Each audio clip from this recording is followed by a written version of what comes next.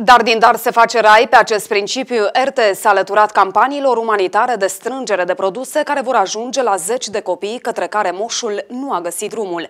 În urma apelului nostru, o femeie din Drobeta Turnu Severin a adunat jucării și hăinuțe care vor ajunge la copii din mai multe comune din județ.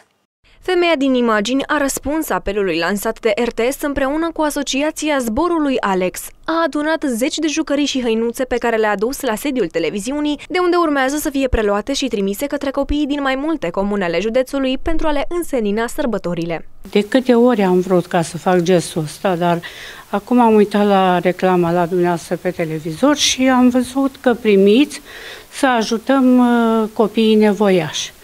Și de vreo trei zile de când tot spun lui fică mea, hai mă să facem și noi să ne ducem odată să nu treacă sărbătorile. Ar fi bine ca mulți oameni să facă la fel, să nu le mai ducă pe la tomberon să-și bată joc de ele și să le aducă la copiii nevoiași, să strâng și dumneavoastră mergeți unde trebuie să le dați, să le împartă.